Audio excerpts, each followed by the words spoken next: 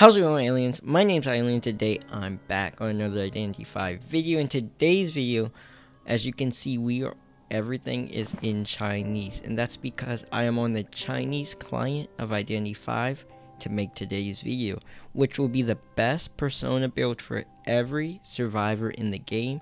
If you enjoy this video, I'll make a hunter version of it next. But basically, instead of me giving you my opinions on the best survivor builds for each survivor when a lot of the survivors I may not even use. I said, why don't I just show you what the best survivors, the best players of these survivors use in the best server and what they prefer to give you the best persona builds for each character. So, on that note, let's get right into the video. Okay, before I get into the persona builds, I do want to plug my Discord server. The link will be in the pinned comment below as well as in the description below. So go click the link and join the server today. I am on a daily uploading streak for the next couple of weeks and even after then I'll be posting a lot more consistently from now on. So as you can see this is the Chinese server when uh, the hundredth player has five stars in champion. They did start a week before us, but still. And you can see the hunter leaderboard if you want to.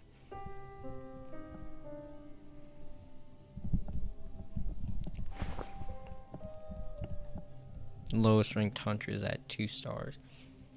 So let's get into the personas. We can just start off with Lucky Guy and go down. And you can also see how many knowledge points in the highest rank for these survivors. So, the number one person is a Mammoth 3. I mean, it's lucky guy. You aren't going to get high ranked players with him. Mammoth 2, the former number one, Mammoth 2. So, let's start off. This is the Persona build. It's just broken windows, tide turner, exit path and then max on um butterfly effect i think that's what it's called. But it's the one that gives you 20% pallet throwing speed after being within range of the hunter for 8 seconds. And it's basically to help his kiting um so he still has broken and everything but now he also has this which makes him a better kiter as well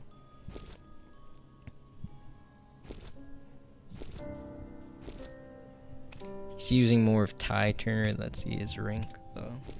Mammoth 5. So, yeah, Lucky Guy isn't going to really be a high ranked survivor. Next, let's go to Doctor. 6,200 knowledge points for her, and the highest one is a Griffin 5. Griffin 1 is number 2 actually, so that's pretty high. Griffin 4. Mammoth 1. So let's get into the builds. The number one one is using um, Broken Tide and Knee Jerk Reflex and Exit Path. But the more popular build for her would be this. This is probably the build I would recommend. The one the number two one is using, which is Broken Windows, Tide Turner, Exit path, of course, but max into doctor and then two points into shelter to really improve your healing speed as doctor. And if you didn't know, the doctor trait actually does speed up. Um, the last time I checked, I'm pretty sure the doctor trait does speed up your self heal, and of course it speeds up um, healing others. Here's one last one if you want to see this. Next lawyer. The, the highest lawyer is 4,400 points and a mammoth 5. So Griffin 3, so I guess that's not bad. Okay. He's using broken windows. Um borrow time. I hope I've been saying I think I may have been saying Tide Turner this whole time. I don't know if I've been saying borrow time or Tide Turner. But any either way, the one on the right is borrow time. And broken windows, um, stun, increases your stun, exit path, and then max snooze increases your rocket chair by 9%, which Lawyer already has a built-in buff on rocket chair persistence, so it makes sense to buff that. And then the Griffin is using broken windows, borrow time, exit path, um, sticker, which is really good, and max snooze because he really has a buff. So this is the build I would recommend. Sticker is really good, and then this helps him out if you die quickly. Next, let's get to Thief. He is more viable now since his buff, but he's still not a meta survivor. Number one is only Mammoth 1, Griffin 5, Griffin 4, Griffin 3, and Mammoth 2. So let's get into the builds. The number two one is using max sticker, broken windows, borrowed time, cold, exit path, in distress. Um, this is a good distress. If you're playing with high tier players, don't use distress because everyone knows what they're supposed to do. But if you are solo ranking at a lower tier, or even in Griffin rank at tier 5, distress comes in handy a lot because no one knows what to do. They don't know who rescues first or anything like that.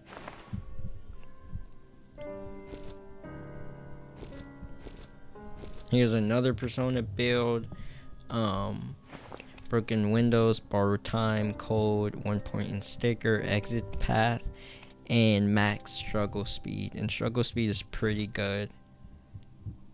Next, Gardener. Gardener is a pretty good survivor. Um, 6,500 points is good. And Gardener's a pretty good survivor, so you are going to see higher ranks. Griffin 2, Griffin 4, Mammoth 1, Griffin 5, and a champion with Gardener. She uses br broken windows, borrowed time, max sticker, 2 points in snooze. Gardener also has a rocket chair persistence buff, so it makes a lot of sense to put points into snooze. Um, I'd probably recommend to do 2 points in sticker and max snooze instead of putting it in sticker. Struggle speed isn't as good on her as before because you don't break chairs. Breaking chairs is useless for Gardener. So struggle speed is no longer meta on her. This one's using Tide Turner. Um, borrow time. Exit path sticker. Number three is using max snooze. Some stun increase. Broken windows, borrow time, and exit path. So as you can see, meta on Gardener will be left to right, exit path, some points in sticker, and max snooze to take advantage of her chair persistence. Next is Explorer. Um, max points for him is 6,400 right now. Griffin 2, Mammoth 2, Griffin 4. Mammoth 3. So let's check out the persona. Okay, so you use left to right, broken windows, borrow time. Exit path, the persona that lets you see survivors within 18 meters. Max airwalk, since he has a built-in, um, you know, footprint buff to where his footprints or one second. They last for one second less, so this makes them last two seconds less. So in total, now it's three seconds less. And the trait that lets you get healed 15% faster. The one is using snooze, cold, and stun. an airwalk. So I would recommend this one that the number one one is using um, to use airwalk. maybe instead of getting healed faster, put that in sticker. Take this and take this out and put in sticker, but this is a great build for him. Next is Forward. As you can see, he's meta, so 10.5 thousand um, points, and then 10.4, and then 10k, so that's pretty high. And the number one is 36 stars, so I think that's the number one survivor in the server. 31 stars, so yeah. Obviously, Forward is S tier. So let's see the personas. Okay, this is Tide Turner, Borrow Time, Max Sticker, Exit Path, and being healed faster.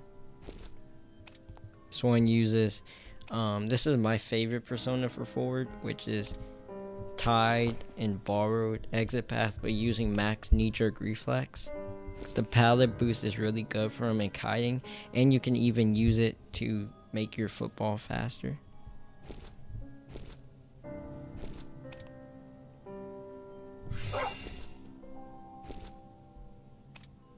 This one's not even using Tide Turner, which you don't have to use Tide Turner on forward depending on the team comp, because Mech and Merc will always have Tide. Next is Dancer, 7,200 points. And a champion, Griffin 5, Mammoth 1.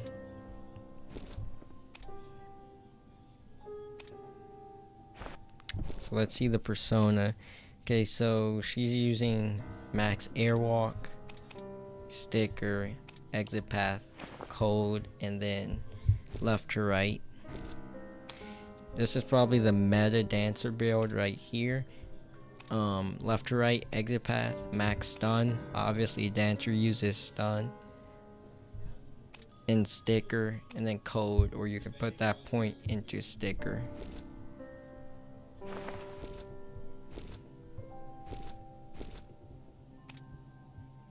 And they're using uh, stick max stun as well but struggle speed. Next is Wildling, 6,300 points. And the number one is a Griffin 3. Griffin 2. So this isn't bad. This is decent. Griffin 1, so relatively high. The number two one is using Tide Turner, Borrow Time, um, 30% gets healed faster, sticker, and exit path. Number three is using struggle speed.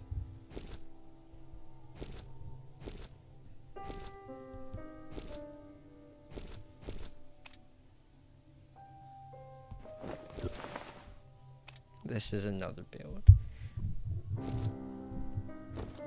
So next is Magician. 7,600 points, so pretty decent. And it's a Griffin 1 that's about to be champion. Griffin 1. So relatively high ranks, Griffin 1, yeah.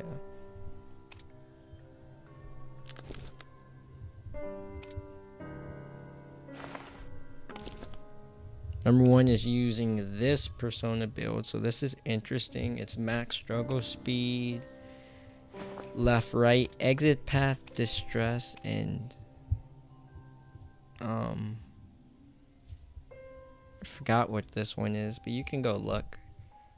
Never use this one. Number two is using sticker, struggle speed, left, right. Snooze.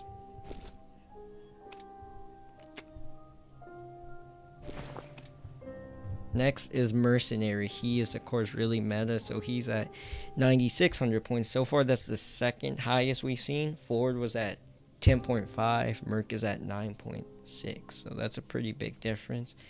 But this is so far the second highest, and the number one is, of course, it's going to be Champions with a lot of stars.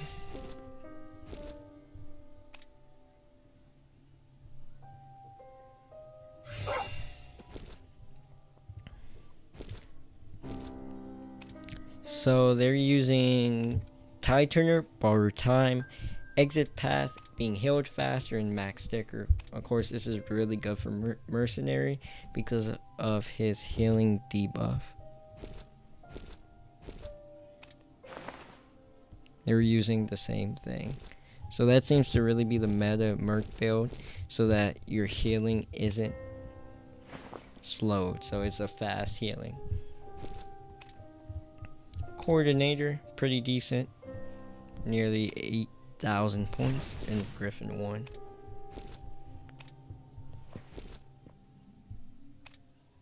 Griffin 1. Okay, so they're using Max Snooze. She, of course, has a Rocket Chair Persistence, 10%, so it makes sense to stack this onto that.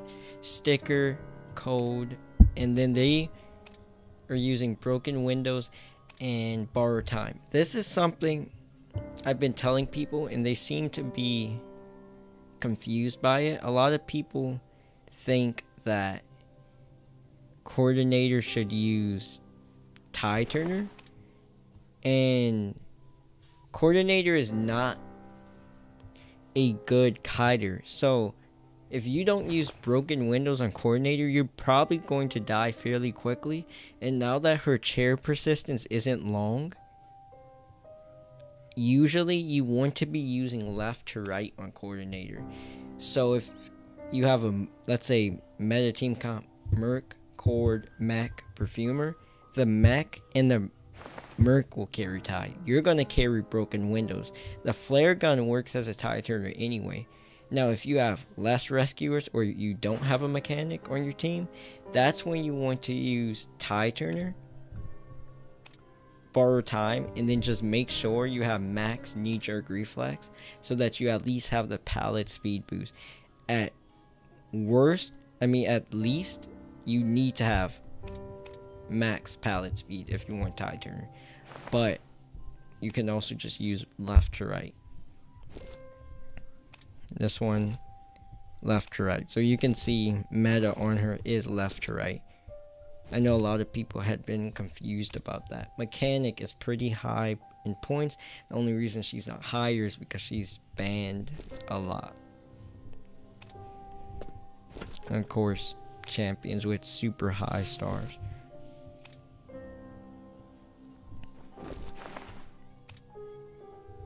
left to right. But this is more situational for mechanic. She depends on team comp, so this build is probably used because they had enough rescuers already, a merc and a first officer, or a merc and a forward, so you didn't need to carry tide. But if you don't have enough rescuers, then you of course carry tide.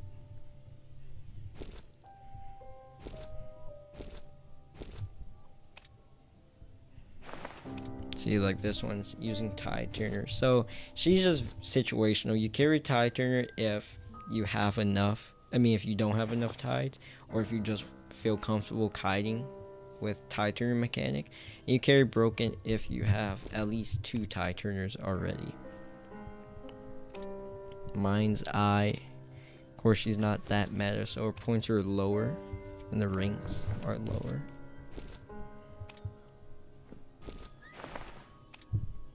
So she would use left to right sticker. Code is a must on Mind's Eye. Unique code on Mind's Eye.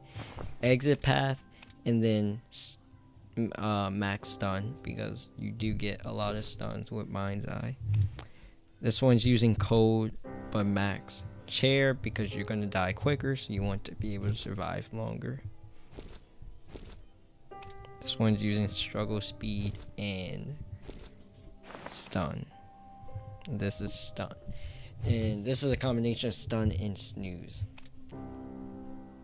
Next is priestess. Priestess is really meta right now. This is the highest points we've seen so far at, at 11.1k.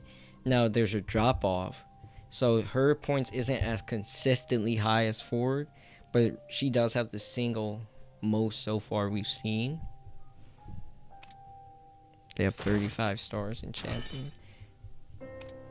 Priestess is OP right now. She's like A plus tier, S tier on mini maps. But she's getting nerfed hard soon. So she won't be meta anymore. Thank goodness, because I hate Priestess a lot. So, Priestess is really interesting. Priestesses can use broken windows or tide turner. But what you do need, which not enough priestesses use, and this is a must. Tide turner is not a must. What's a must on this build is of course broke uh borrow time and exit path. But then it's doctor. You need to put your points into max doctor because when you do the super portal, you need to heal fast or else the hunter can catch up in time. Priestess plus it buffs the healing boost she already possesses. so Max Doctor is a must on Priestess. But you can use Tide Turner or Broken Windows. She's kind of like Mechanic. It just depends on the team comp, really. See, they all have Max Doctor, but this can change.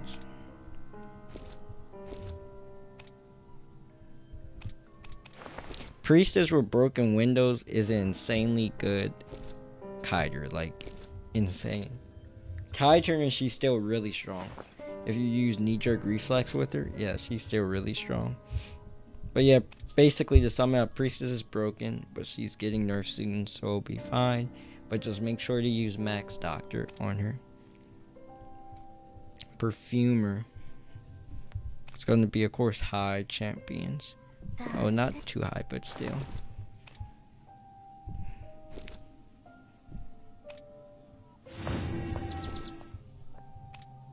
And it's 8,400 points. So they're using left to right. Exit path sticker. You need sticker on Perfumer. You need it because she has slow healing. So you have to use sticker. And then they're using this one um, to counter other debuff, which is the calibrations debuff. This isn't necessary, but of course you can use it um, to where you don't lose any progress. So when it's using stun, struggle speed, sticker, left to right. Snooze.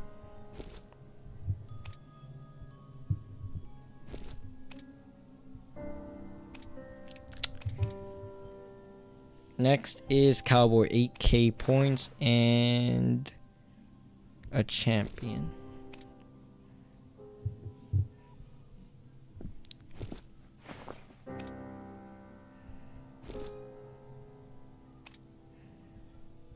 Griffin. So let's see. Of course, you use max stun because he already has long stun plus max stun makes it insanely long. And left to right, you need on Cowboy and he's using some struggle speed too and so he can see survivors within 18 meters. And next is Seer so of course 9200 points he's meta but he gets banned a lot so it's not going to be that high. Snooze and sticker. Sticker and struggle speed. And then of course a bunch of stars Next is Embalmer. His buff made him decent, but he's still not meta. Um, he's just a decent survivor. Griffin 5, Griffin 3, and 7,000 points. So, basic. This is really the basic persona build. Um, for a survivor. If they have no special need or anything, it will be left, right, exit path, 2 and sticker, max snooze. Because it used to be struggle speed, but struggling got nerfed to where it doesn't really do too much. So because of that, struggle speed really isn't meta. So instead you just put it in snooze for longer chair persistence.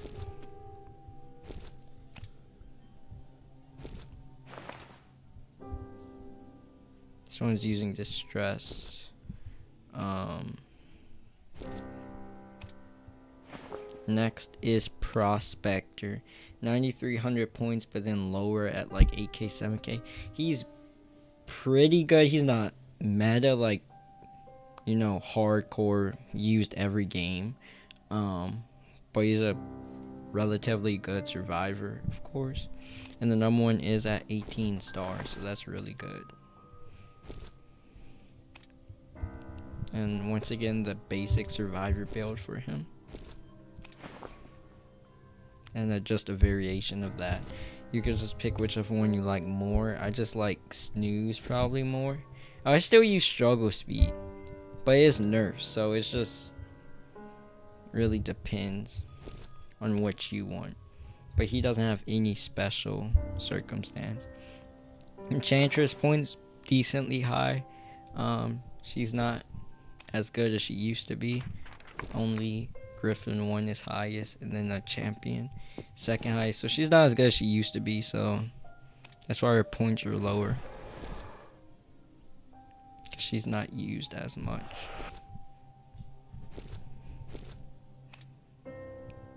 This one's using cold, max, snooze, and distress. The champion is actually using Tide Turner on her. Oh no, not Tide Turner. No, yes, Tide Turner. I mean, they're not using borrow time. I don't recommend this.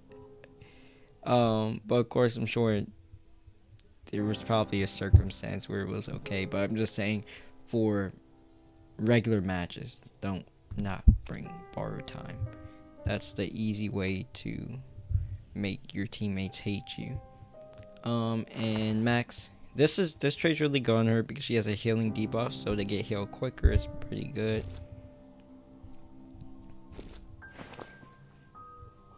Left, right. So this for Enchantress, this seems to be the trait you want, which is to get healed quicker so that it takes away her healing debuff sticker, and struggle speed. Acrobat's next, decently high. Is it um, pretty good survivor. This is a good build for Acrobat, but only use this if you need a Titan. If you have enough Titans, there's no point in doing, in just bringing Tide. But he doesn't really absolutely need broken windows, um, because he can use his balls through the windows anyway. So knee jerk reflex, and then Tide Turner and Borrow Time is a pretty good build on him so that you have another Tide Turner champion champion. Champion. So you can see he's a pretty good survivor.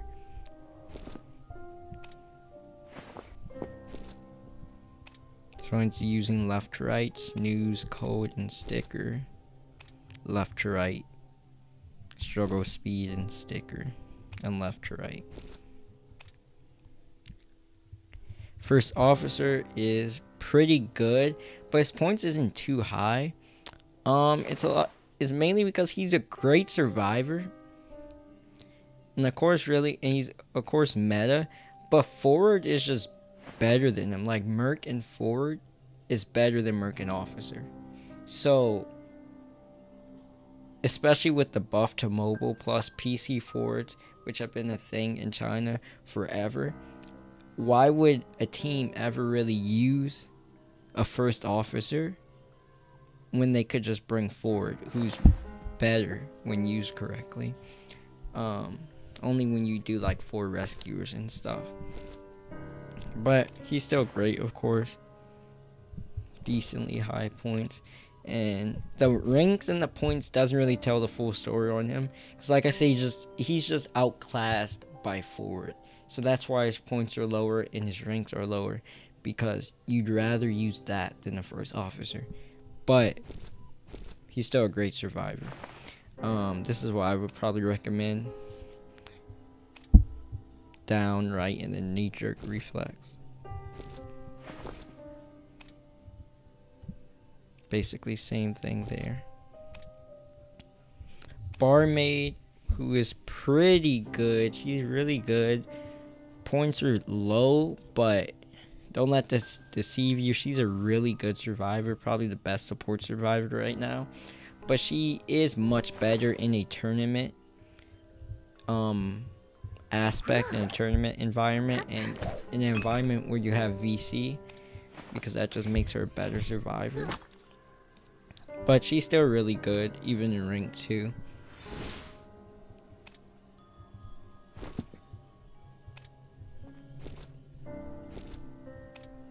Left, right, snooze, and sticker. So it just seems to be the default hiding builds for her. Doctor, that's interesting since she has she doesn't have to actually heal up anyone. She could just give them wine. So that's interesting. And lastly, the newest survivor, um, Postman. You see the ranks aren't that high. He's not a champion for that one. Griffin 1. So it's decent ranks for him. Mammoth 4. Griffin 3. He's he's a decent survivor. He's not like S tier or anything like that. But he's a decently good survivor. Um and a decent support. So just a basic hiding build for him.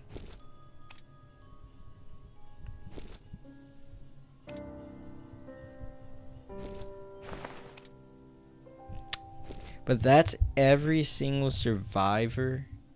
I know this has been a long video, but there's so many survivors now in season 9 and actually season 10 in China that this video is just going to take a, a while to do. But I do hope that this helped you out and that you learned something from this video. If you did enjoy this video, please give it a like. And if you want to see more videos like this in the future, please subscribe to the channel and that'll be all for the video. Bye.